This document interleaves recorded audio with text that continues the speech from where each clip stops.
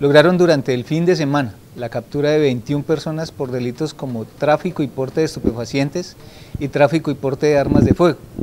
Asimismo, se logró la incautación de 110 dosis de estupefaciente y tres armas de fuego.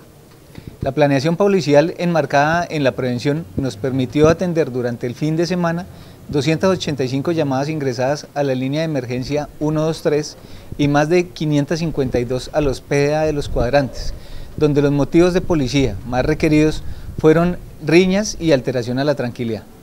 En la aplicación de la Ley 1801 del Código Nacional de Convivencia y Seguridad Ciudadana fueron sellados dos establecimientos públicos. Igualmente, durante el fin de semana fueron impuestos 46 comparendos en todo el departamento de Magdalena Medio, los cuales 25 fueron en Barranca Bermeja a personas que han presentado comportamientos contrarios a la convivencia.